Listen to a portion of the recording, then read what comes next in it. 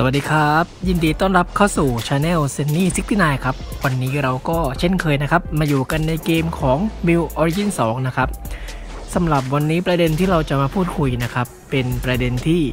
ผมเห็นมีคำถามบ่อยๆนะครับ จะเป็นประเด็นสำหรับคนเล่นมือออคนเล่นใหม่เลยนะครับ เห็นทั้งในเพจทั้งออคอมเมนต์ตามเว็บไซต์ต่างๆ ก็จะถามว่าออไอตัวของอัพ ขั้นคลาสเนี่ย เอามาจากไหนนะครับ อ่า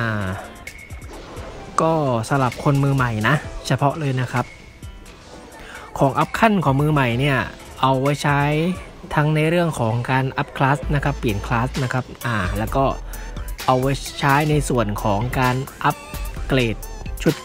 ตัวละครนะครับ ซึ่งสำหรับคนเล่นใหม่เนี่ย จะสอบถามนะครับ ถึงเรื่องว่าหาที่ไหนนะครับ ก็สำหรับของขั้นนี้ที่หากันเยอะนะครับสำหรับอาชีพผมนะ ก็จะเป็นในส่วนของเออเขาไฟเทพนะครับ แล้วก็มีตัวของกระบี่แต่วิญญาณนะครับอันนี้เป็นของนักดาบนะ แล้วก็ตัวเออน้ำตาทูตนะครับ แล้วก็ตัววิญญาณทำนายนะครับอันนี่เป็นของนักเวทนะ แล้วก็ผมไม่ชัวร์ว่าของเออของอาจารย์ศักดิ์สิทธิ์น่าจะเป็นตัวหินนักบุญนะครับ คือของพวกนี้นะครับมันมันใช้ได้หลายอย่างนะครับหนึ่งก็คือเปลี่ยนคลาสเนาะแล้วก็ 2 คือการเออเอาไว้อัพขั้นนะครับอัพขั้นอัพขั้นตั้งแต่ตั้งแต่ขั้น 6 ถึงขั้น 9 นะครับ อันนี้เป็นขั้น 8 นะครับ มาขั้น 9 ก็ต้องใช้ตัวเขาไฟ 500 นะครับสำหรับแมปที่ดรอปนะครับแนะนำง่ายๆนะครับ เวลาเวลาคุณไป ไปเก็บเวลไปบทตามไหนนะครับ ถ้าเกิดจะเช็คว่าที่นั่นให้อะไรบ้างนะครับ ก็แค่กดที่แผนที่นะครับที่มุมขวาบนเนาะแล้วก็ดูคำว่าล่างซ้ายมือครับ ดูตัวอย่างดรอปนะครับอ่ามันก็จะบอกว่าแผนที่นี้ที่เรากำลังเล่นอยู่เนี่ยมันให้อะไรนะครับ เหมือนของผมตอนนี้ผมกำลังหาเจ้าตัวครบเพลิงมารนนะครับ อันนี้เป็นของอัปเกรดคลาสนะครับ ระดับอาจารย์นะ แล้วก็เอาไว้อัพขั้น ชุดเกราะนะครับ ตั้งแต่ขั้น 9 ขึ้นไปถึงขั้น 12 นะครับ ก็จะเป็นตัวนี้นะของผมนะสำหรับนะครับสำหรับขั้นตั้งแต่ 6 ถึง 9 นะครับ ก็คือก็คือเป็นขั้นที่ที่มือใหม่ตามหานะครับ map ที่ผมจะชี้แหล่ง drop นะครับ ก็จะเป็น map ตั้งแต่ map level 200 นะครับอ่าถึงเอ่อ280 นะครับ ก็จะเป็น 3 เมืองนะ เมืองไอด้านะครับ แล้วก็คันตูรูนะครับ แล้วก็อะไรเนี่ยอิคารัสเหรอนะประมาณนี้นะครับก็จะเป็น 3 เมืองนะ map level 200 240 แล้วก็ 280 นะครับ มาเดี๋ยวผมจะพาไปดูแหล่งที่เขาชอบหากันนะครับ มา อันนี้เป็น map ยอดนิยมเลยนะ เป็น map level 200 นะครับ อะ เรามาเช็คกันนะครับ นี่ไง ก็จะบอกนะครับว่ามันจะ drop นะครับน้ำตาทูตวิญญาณทำนายนะ อ่าหินตัดวิญญาณนะครับ เขาเทพไฟนะครับ ก็ประมาณนี้นะ เราก็มาดูกันเลยครับว่า คนจะเยอะแค่ไหนนะ คือแมปนี้เวลามีกิจกรรมเนี่ยจะเป็นแมปที่ยอดนิยมมากๆนะ เพราะว่าอะดูสิ ผมเดินมาไม่ถึงไม่ถึง 30 วินะครับ ก็เจอแหล่งเอ่อบทนะครับเยอะแยะมากมายนะสำหรับที่ผมแนะนำบทนะครับ ตรงเมื่อกี้นะที่ผ่านมาก็โอเคนะ แต่คนเยอะนะครับ ตรงนี้ก็โอเคนะ คนเยอะมากนะครับ อืมมาเรามาดูกันนะครับ ก็แบบนี้จะเป็นแบบยอดนิยมมากๆนะ ที่ผมแนะนำก็จะเป็นส่วนตั้งแต่ออกจากวาร์ปเลยนะครับ ตั้งแต่ตัวทูตต้นไม้นะแล้วก็ผู้อมหิตนะครับ ไอตรงส่วนตรงนี้ผมแนะนำว่าก็บดได้นะ แต่สลับสลับมือใหม่เนี่ยผมมองว่าไม่ควรจะบดนะ ตรงนี้เพราะตรงนี้มันเป็น จุดที่บอสมันเกิดนะครับ แล้วก็บางทีเวลาบอสเกิดเนี่ย คุณอาจจะโดนลูกหลงไปได้นะ บางทีเขาเปิดหัวเปิดแย่งบอสกันนะครับ ก็ตรงนี้บดได้ไหมบดได้นะครับ ถ้าเกิดกรณีที่คุณอยู่จอนะ แต่ถ้าบดทิ้งกลางคืนนี่ผมว่าอย่าเลยนะครับ เดี๋ยวจะตื่นมาจะจะจะตายเปล่าๆนะครับ จุดจุดนี้ก็โอเคนะ แต่ว่าแนะนำว่าเป็นอาชีพต้องเป็นอาชีพที่มี skill มีระยะนะครับ เช่นพวกนักธนูนะครับ นักเวทอย่างเงี้ยเพราะตรงนี้เหมาะเพราะว่า 1 คือมันเยอะนะครับ เป็นกลุ่มกว้างนะ แต่ว่าคือมันยืนห่างกันไง เพราะฉะนั้นอาชีพนักดาบผมว่าน่าจะไม่ work นะครับตรงนี้ต่อมาก็คือไอ map 200 เนี่ยมันนิยมมากๆ เพราะว่าหนึ่งคือ mon มันเกิดไวนะครับ แล้วก็พื้นที่เนี่ยมันค่อนข้างที่จะอำนวยครับ ตรงนี้ก็คนจะบดเยอะนะ ตรงนี้นักดาบก็ชอบบดนะครับ เพราะว่าตรงนี้มันเป็นคอขวดเห็นไหมมันจะเป็นเส้นตรงเออเป็นทางตันอะนักดาบก็เลยชอบบดนะครับ ตรงนี้อืมอันนี้คือ map ยอดนิยมเลยนะครับ ตรงนี้ก็บดได้นะ สังเกตว่า map 200 เนี่ยจะทุกที่ของ map 200 เนี่ยจะ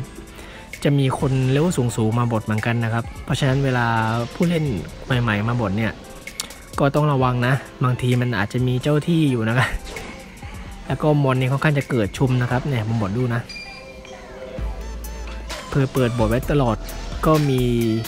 มอนเกิดตลอดทีๆเลยนะ จริงๆอะมาแล้วก็มาตรงนี้ต่อนะครับ เมื่อกี้นี้ของนักดาบผมว่าโอเคนะ ตรงนี้ก็ได้นะ แต่ว่าตรงนี้ก็เหมาะสำหรับคนที่เป็นนักเวทนะ เพราะว่าคือมอนมันยิงไกลแล้วก็ มันค่อนข้างที่จะอยู่กระจายตัวนะครับเนี่ยคือมอนเยอะมากจริงนะ แล้วก็คนมาบทก็เยอะนะครับ ถือว่าเป็นแมปยอดนิยมนะ ตรงนี้ก็โอเคนะ แต่ว่าตรงนี้ก็เหมือนกับตรงข้างล่างครับ คือตรงนี้จะเป็นจุดบอสเกิดนะ คือตรงจุดบอสเกิดเนี่ยไม่ควรจะบดเพราะว่าหนึ่งคือโอกาสที่คุณจะโดนลูกหลงจากการเปิด PK เนี่ยมันมันเยอะนะครับ ยิ่งเซิร์ฟใหม่ๆเนี่ยผมมองว่า น่าจะโดนลูกหลงเยอะมากๆนะ เพราะว่าเซิร์ฟใหม่เขาก็เขาก็คงจะแย่งทรัพยากรกันนะครับนะ ตัวนี้ก็ผมมองว่าอย่าเลยนะครับ ก็แมป200 ก็ประมาณนี้นะครับ ก็ตรงทูตต้นไม้เนาะผู้อมหิตป่านะครับ แล้วก็ตรงปีศาจมามืดนะสำหรับอาชีพแบบผมนะ อาชีพแบบพลังอะไรนะ skill การโจมตีระยะกลางๆนะครับ แต่ถ้าเกิดเป็นเป็นเอลนะครับ เป็น wizard อย่างเงี้ยก็ที่จริงตรงทุกที่ก็ได้แหละนะครับ เอลกับ wizard เนี่ยเขา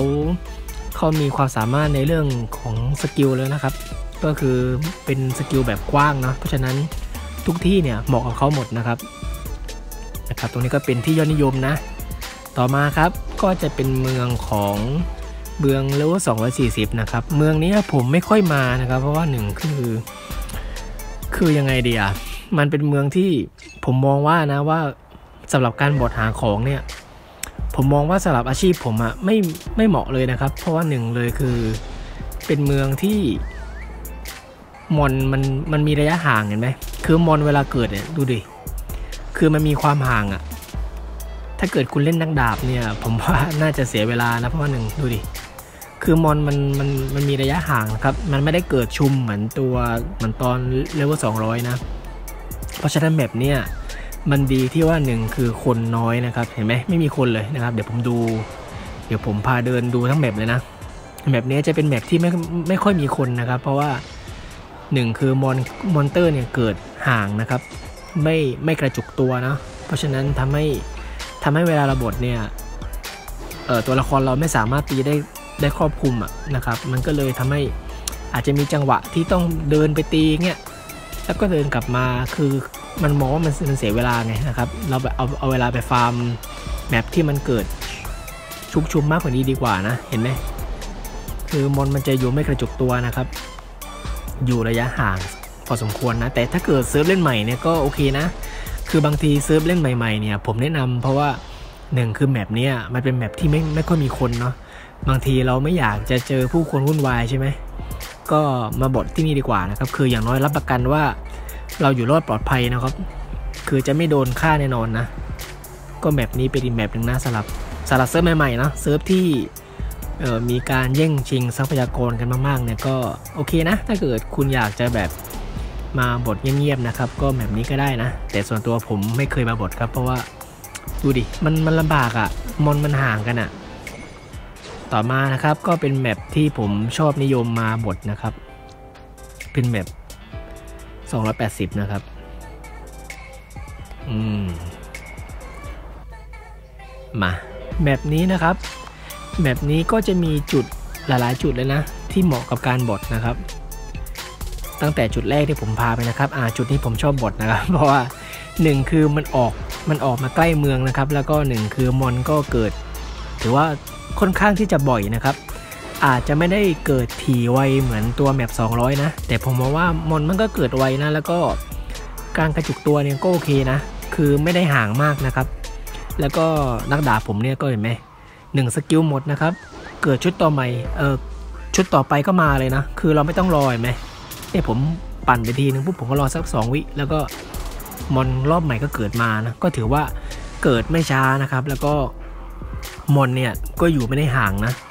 อันนี้จุดแรกที่ผมชอบมาหมดนะครับ เงียบด้วยนะครับ คนไม่เยอะ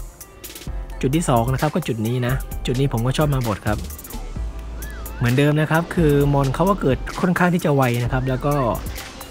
เอ่อมอนค่อนข้างจะกระจุกตัวนะครับ ไม่ห่างนะ ส่วนที่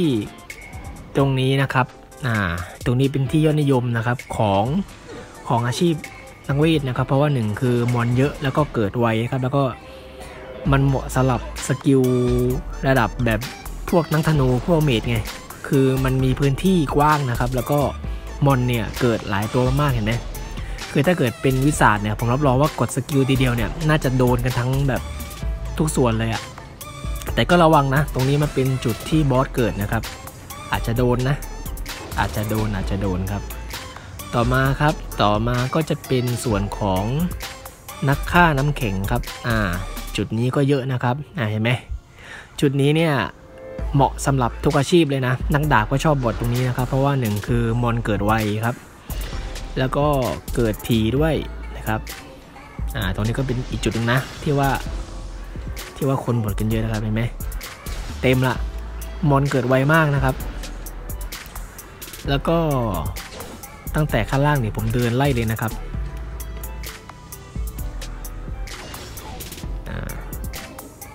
ตรงนี้ก็โอเคนะสำหรับนักดาบนะครับสำหรับนักดาบนักอาชีพนักฆ่านักดาบพวกนี้นะครับ เห็นไหมอย่างเงี้ยคือเขาเปิดหัวไว้ครับคือ คือเขาคงจะกันคนมาแย่งเห็นไหมเขาเปิดหัวทิ้งไว้เลยอะ่ะเป็นหัวแดงนะครับ เพราะฉะนั้นผมก็ขอทำจัดการเขาหน่อยนะอะกดไม่ติดแป๊บหนึ่งเราต้องก่อกวนสักหน่อยนะครับเขาเปิดหัวทิ้งไว้แล้วก็จัดการเลยครับ บทแล้วเปิดหัวเนี่ยฮะมันทำให้คนเขาลำบากรู้ไหมอ่านะครับ ก็ตรงนี้ก็เหมาะนะครับ มอนเกิดไวแล้วก็เกิดถี่ด้วยนะครับ แต่ก็ไม่ค่อยกว้างเท่าไหร่นะ แต่แล้วก็ได้ครับ ไม่ถือว่าแย่ตรงนี้นะ แล้วก็ต่อมานะครับ เป็นที่ยอดนิยมเหมือนกันนะ อ่าโอ้ไม่ใช่ ปิดปิดปิดอ่า ตรงนี้ครับ ตรงนี้ผมก็ชอบบทนะ เพราะว่าหนึ่งคือมอนเยอะมากครับ ดูดิ กูดูดิ โอ้โห แบบมนเพียบอะตรงนี้ก็เป็นอีกจุดนะครับที่ว่าน่าน่าจะบดนะครับหาของนะ อ่า ต่อมาครับข้างล่างนะครับ อันนี้ก็เป็นที่ยอดนิยมนะครับ อีกจุดนึงนะครับ อ่า ตรงนี้ตรงนี้คนเยอะมากปกตินะครับ อืม ตรงนี้ก็เหมาะนะครับ ก็ ที่นี้นะ ก็ถือว่าเป็นอีกจุดหนึ่งที่ยอดนิยมแล้วก็ ผมมองว่าแผนที่นี้เหมาะสำหรับผมนะ เพราะหนึ่งคือ monster เนี่ยเกิดไวนะครับ คนน้อยด้วยนะครับ แต่เซิร์ฟเวอร์อื่นเนี่ยผมไม่รู้ไง คือเซิร์ฟเวอร์ผมในตอนนี้มันค่อนข้างที่จะเปิดมานานแล้วเนาะ แล้วก็ของของคนในเซิร์ฟเวอร์เนี่ยเขาไปไกลแล้วนะครับ เพราะฉะนั้นบางทีเนี่ยเขาอาจจะไม่ต้องการของระดับนี้แล้วไงนะครับ แต่ของพวกนี้นะครับ ผมเนี่ยไอของพวกเนี้ยนะครับ ของระดับขั้นต้นๆอย่างเงี้ยผมบอกเลยนะว่าเขาใช้ตลอดนะครับ เพราะว่าหนึ่งคือบางทีเนี่ยคนเขาเขาได้ของใหม่ๆนะครับ เหมือนผมเนี่ยอะเหมือนผมได้ตัวเนี้ยนะครับออฟออฟดีนะ แล้วก็คือบางทีของเราไปไกลแล้วไง แต่เราได้ของที่มันเลเวลต่ำนะครับ เช่นขั้น 5 ขั้น 6 ขั้น 7 ขั้น 8 พวกเนี้ยแต่ออฟมันดีนึกออกไหมเพราะฉะนั้นเราก็ต้องมานั่ง อัพขั้นให้มันขึ้นไปนะครับ เพราะฉะนั้นมันก็เลยจำเป็นนะครับจะสังเกตว่าของพวกนี้นะครับ มันขาดแคลนตลอดนะ แล้วก็ถ้าเกิดใครมีเยอะเนี่ยสามารถซื้อขายได้นะ เหมือนตอนนี้เซเวอร์ผมเนี่ยเจ้าตัวราคานะครับไอตัวดาบวิญญาณเนี่ยครับเอ่อราคาอยู่ที่ 1,000 ชิ้นเนี่ยอยู่ที่ประมาณ 70ถึง120 นะครับ เพชรนะครับ แต่ตัวนี้ก็จะเหลือประมาณสัก 1,000 ชิ้นเท่ากับประมาณสัก 40ถึง70 นะครับ ตัวน้ำตาทูตเนาะไอตัวนี้จะแพงนะครับ เพราะว่า 1 คือ อาชีพนักดาบเนี่ยเป็นอาชีพที่ยอดนิยมนะคนเล่นเยอะมากนะครับ แล้วก็ทำให้เจ้าตัวเนี้ยมันขาดตลาดตลอดนะครับรองลงมาก็จะเป็นพวกของนักเวทกับนักธนูนะครับของพวกนี้ก็ขายได้นะ ก็ราคาอาจจะน้อยลงมานะครับ หรือไม่ว่าถ้าเกิดคุณไม่อยากจะเสียเงินนะครับ ไม่อยากจะเสียเพชรเนาะก็ทำการแลกนะครับ ก็อาจจะต้องประกาศ นะครับประกาศตรงช่องเช็ดโลกครับก็จะมีนะครับว่าเออรับแลกนะครับ เช่นเอาดาบวิญญาแลกกับน้ำตาทูตของนักธนูเนาะอัตราส่วนอาจจะเป็น 1,000 ต่อ 1,000 ใช่ไหมก็เห็นไหมเหมือนตอนในเช็ดโลกตัวเนี้ยก็มีคนเห็นไหมเขาโพสต์นะครับแปลว่าเนี่ยเขาเป็นอาชีพนักเวทใช่ไหมเขาต้องการแลกนะครับ คือเขามีไอ้ดาบเนี่ย2,500 เล่มนะครับ ก็อยากจะแลกกับน้ำตาทูตเนาะเออไม่ใช่ แลกกับหินหินของนักเวทกับหินวิญญาณอะก็นะครับก็ถ้าเกิดใครไม่อยากซื้อนะครับ